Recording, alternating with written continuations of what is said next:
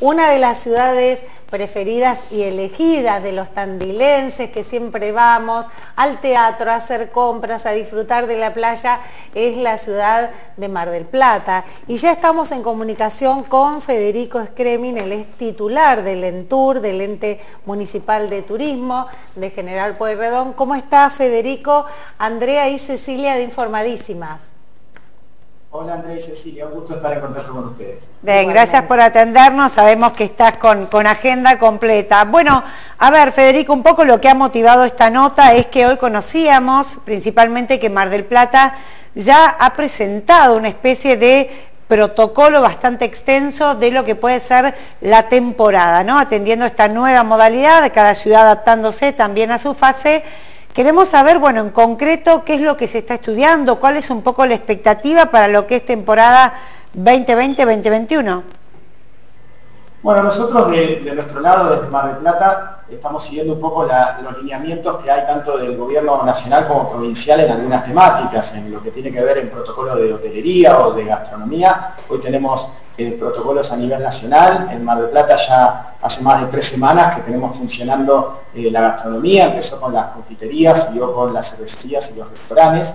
Eh, actualmente estamos trabajando con la provincia de Buenos Aires en un protocolo de balnearios, entendiendo que la única posibilidad de, que podamos tener temporada en este verano va a depender de, que haya un, cuidado muy fuerte y muy estricto de que se cumplan bien los protocolos. Como viene pasando en la gastronomía, necesitamos que sean en, el resto de los rubros, de los rubros vinculados al turismo, siempre pensando en cuidar eh, la salud de los marplatenses. Sin duda, Federico. A ver, la vacuna eh, va a tardar en llegar, por lo tanto debemos acostumbrarnos eh, en esta nueva normalidad a convivir con el virus y armar protocolos porque la vida continúa eh, y la vida económica también, sobre todo Mar del Plata, al igual que Tandil, bueno, pero Mar del Plata en demasía tiene la temporada de verano muy fuerte, donde se espera la llegada de muchos turistas. ¿Están viendo un poco cómo está haciendo Uruguay en esto de isopar antes de entrar?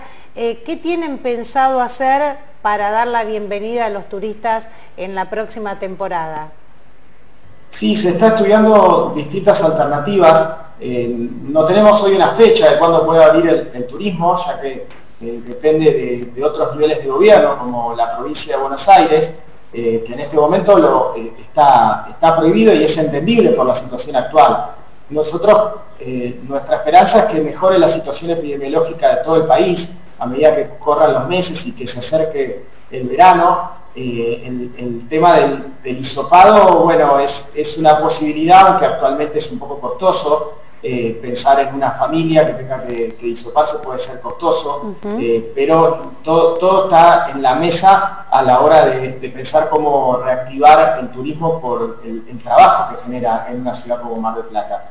Pero no podemos descuidar la, la situación epidemiológica de acá, que en este momento se encuentra eh, controlada, eh, pero a la hora de, una reapertura tiene que ser siempre y cuando no, desestabilice estos números que tenemos hoy en Mar del Plata. ¿En qué fase están ahora? Perdón, Federico.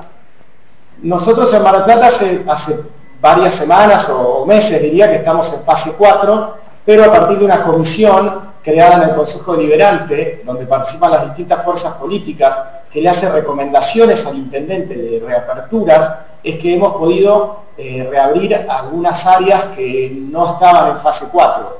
Eh, como puede ser, por ejemplo, la misma gastronomía se pudo abrir antes de que se incluya en fase 4 eh, y lo que tiene que ver con ciertos deportes al aire libre o incluso en este momento estamos en una prueba piloto de gimnasios. Algo que, no está permitido en fase 4, pero a partir de este trabajo en conjunto eh, se ha podido reactivar, siempre con la cabeza puesta en, la reactivación económica y en la generación de puestos de trabajo. Bien. Federico, puntualmente respecto a lo que se planea en temporada, vos nos decías que han elaborado y han elevado a la provincia un protocolo para lo que es balnearios. Imagino que también habrá una diferencia en lo que es balneario privado y público, porque el público debe ser mucho más complicado de controlar, pero ¿qué han evaluado respecto a la hotelería, que también es una industria muy fuerte, ¿no? Sobre todo, bueno, cuando llegan las vacaciones. Sí, en la hotelería lo que vemos es que vamos a tener que trabajar mucho más en lo, digital. Los hoteles van a tener que intentar todo lo que se pueda generarse a través de internet, por ejemplo, en lo que es el, check-in o, el check-out, tratar de evitar los espacios comunes en la medida de lo posible. Se habla de la idea de que el desayuno se pueda realizar en la misma eh, en la misma habitación, eh, buscar la forma de no tener eh, que la gente no se acumule o no se amontone en lo que es el lobby a la hora de, un, check-in. El hotel va a tener que intentar de, poder espaciar durante el día la llegada de... Con turnos podría ser también. Claro, claro, poner turnos de, ingreso al hotel y por supuesto que va a tener que haber una, una limpieza muy importante entre eh, huésped y huésped y una limpieza constante en, los espacios comunes. Eh, creemos quizá que para la próxima temporada, eh, en la medida de lo posible, va a ser ideal que, hayan estadías más largas. Digo, quizá puede venir menos gente que otra temporada, pero se queda más tiempo.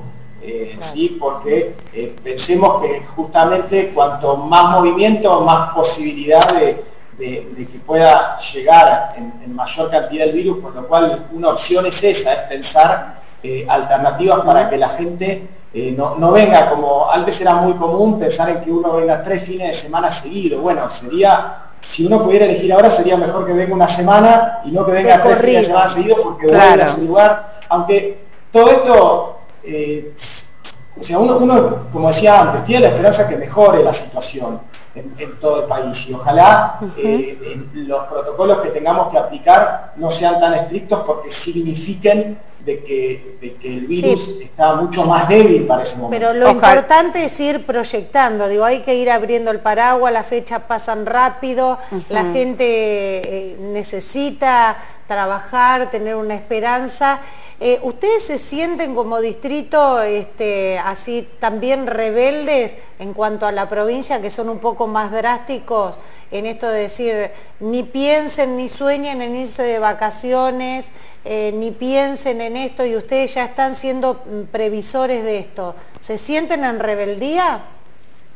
No, nosotros no, polemizamos con, la provincia, como decía antes, por ejemplo, en estas reaperturas de gastronomía surgieron a partir de un trabajo conjunto entre concejales de distintas fuerzas, incluidas las fuerzas vinculadas al intendente, pero también eh, fuerzas de la oposición que tienen vínculo con, el gobierno provincial. Previa marcha de los gastronómicos que ya no resistían más, debemos decir también. Y en Mar del Plata la gastronomía es muy importante y genera mucho, mucho trabajo. Igualmente hoy que, se encuentra abierta, no, no están trabajando lamentablemente a los niveles anteriores porque bueno, falta el turismo, porque alguna gente tiene todavía miedo de salir o también hay, por supuesto, mucha gente con, dificultades económicas a partir de, lo que fueron los efectos eh, de la pandemia. Pero a nivel de, la reapertura turística tiene que ser en conjunto con nación y provincia. Ahí no es algo donde Mar del Plata mañana diga nosotros abrimos, no, o sea, eso va a ser siempre en conjunto, en conjunto con ellos y vamos a necesitar eh, colaboración de, de, nación, provincia y también del trabajo en conjunto con los municipios. Seguro, ¿no? Que tenemos aquí esto, esto que se ha denominado... este, perdón, este turismo que se ha denominado como lo que antes se conocía la región Marisierra, ¿no? Y que se trata de retroalimentar en distintas cuestiones. Federico, vamos a recordar que estamos hablando con Federico Scremin, es el titular del EMTUR, el ente municipal de turismo de la localidad balnearia, respecto a las cuestiones básicas. Por ejemplo, gente que dice, si voy a la playa, ¿tengo que ir con barbijo? ¿Qué es lo que tengo que hacer? ¿Puedo llevar mi sombrilla? ¿Solo puedo ir a una sombrilla o una carpa que esté en alquiler. ¿Qué determinaciones hay respecto a esto? No, o sea, eh, se está, todavía no está definido el, protocolo, estamos en, trabajo, pero igualmente... ¿O qué es lo que han eh, propuesto ustedes entonces? ¿Cómo? ¿Qué es lo que han propuesto en este sentido? No, es que, es que nosotros estamos en este momento evaluando el protocolo que planteó la Cámara de Balnearios. Ah, bien, eh, bien. Estamos en conversaciones con provincia también, la cual trabajó en conjunto con la Universidad Nacional de, eh, Mar del Plata eh, en esto. Ahora, siempre, siempre va a estar la, posibilidad, nunca va a ser obligatorio tener que alquilar una carpa para poder ir a la playa, ¿no? Tenemos una cantidad de kilómetros de playa pública, lo que nos quita en que no haya que trabajar en el distanciamiento. En, el, tema de, barbijo, el, protocolo que, se está trabajando habla del barbijo para el personal, habla del barbijo en, espacios cerrados, por ejemplo, eh, todavía se está evaluando qué es lo que va a suceder en espacios abiertos, entendiendo también que en general los espacios abiertos son mejores, en el sentido que es más difícil el... No nos vemos tomando sol de barbijo. No, no, por supuesto que no. Y sería así, sería eh, eh, extraño y, a su vez este, si es un día de 30 grados eh, va a ser... Va a ser difícil, pero, es un buen modelo también tomar a Europa, que si bien ha habido rebrotes, bueno, allá la temporada turística, van a la playa, el grupo familiar comprobado está junto y está distanciado eh, del otro grupo familiar o de amigos que saben que no, que no están contaminados. Y bueno, eh, la verdad que eso sirve de experiencia porque van un paso adelante en cuanto a la temporada. Sí, sin duda que tenemos que tomar los ejemplos y qué es lo que funcionó bien, qué es lo que funcionó mal tiene que haber mucho de concientización de las personas, eh, porque el Estado no puede estar en todos, en todos lados, eh, con lo cual va a haber mucho de, difusión de, cuáles son las normas, como, como hoy, que se habla del uso del, tapaboca o del lavado de manos, bueno, también tiene que estar fuerte el tema del distanciamiento, porque por ejemplo, hoy en Mar del Plata, en, en los restaurantes esto está organizado porque tienen un protocolo que tienen que que seguir. Eh, ahora, cuando uno va a una plaza, eh, no está ese, ese mismo protocolo. Entonces hay que trabajar, hay que trabajar desde la concientización y en lo posible también hablando en esos, en esos lugares y la gente tiene que entender la, importancia de esto. También hay que, hay que contarle a la gente la cantidad de kilómetros que cuenta de Playa Mar del Plata y que no se junte toda en, en ciertas del centro, eh, que bueno, eh, por ahí en otro año era, era más entendible, pero en esta temporada no va a tener que ser diferente. En, e, este momento, si la gente en Mar del Plata, quien vive allá, quiere ir a la playa a caminar, quiere ir a sentarse a tomar un mate con su pareja, digamos con el conviviente, ¿se puede ir a la playa o están las playas este, cerradas? No, lo que nosotros tenemos hoy, por ejemplo, es actividad, está autorizado lo que es caminatas eh, como deporte porque hace bien a la salud y entonces uno, esta caminata la podría hacer por la Rambla, por ejemplo. Claro. Eh, es la ventaja que, tiene, que tenemos acá en... Eh, la Peralta Ramos. Hermosa, hermosa, hermoso caminar por ahí. Sí, después te cruzabas a Manolo a comer algo, viste, no, te perdés, en Mar del Plata no, no. Los churros. Hay que ir a disfrutar. No, eso sí, o, por ejemplo está, está habilitado lo que es la pesca. Claro. Entonces se ve en la, playa la gente que está eh, pescando con, eh, distanciamiento, con, eh, con tapaboca. entonces hay, como formas indirectas de, poder disfrutar de la playa, pero no es que estamos en este momento abierto el, turismo interno, ¿sí? O sea, no es que nosotros le podemos decir a la gente aprovechar el fin de semana que está lindo y anda a la playa, no, porque no es esa la, intención, sino la intención es lo que fue. Bien, y a ver, Federico, parte de la temporada, eh, uno de los atractivos que a mí en lo personal me encanta es el teatro. Eh, las Yo a presentar por la cuestión cultural, teatros y sabés que los recitales, en Mar del Plata, que bueno, son un ícono. Han presentado un protocolo, están planeando ir con este distanciamiento de butacas, eh, tiene, han tenido algún contacto sobre todo con, eh, bueno, eh, quienes mueven toda, toda la parte de espectáculos. Mm. Sí, ahí en, conjunto con el área de cultura del, municipio hay conversaciones. Esto es a nivel nacional, digo, porque en el, en estaría en este momento la temporada teatral en Buenos Aires y no está eh, ocurriendo. Si hay una apertura acá, lo va a haber también en, Buenos Aires. Eh, Rottenberg hace, hace poco habló de que había que buscar la forma para empezar a abrir en primavera para prepararse para, eh, para el verano. Pero estas son medidas que, que, tienen que ver con, eh, con, el gobierno nacional y provincial. En este momento eso está, está prohibido, pero sí, se espera que si en algún momento se, se reabre, por supuesto que va a ser con, distanciamiento, con menos capacidad. Otra cosa que se está hablando es la posibilidad de, que haya autoteatro en el, en el verano. Nito Artaza estuvo, estuvo hablando de que quiere ver la posibilidad de poder hacer autoteatro donde la gente va en su propio auto y ve una, una obra de, de teatro. Como el autocine, claro. Va a ser una temporada diferente, pero esperamos que, la situación mejore y los protocolos permitan por lo menos un, porcentaje del, turismo que, tuvimos en otros años. Ojalá, ¿Tenés ojalá. contacto con nuestro director de turismo, Lole Insa? ¿Tienen contacto asiduo? ¿Qué es lo que conversan?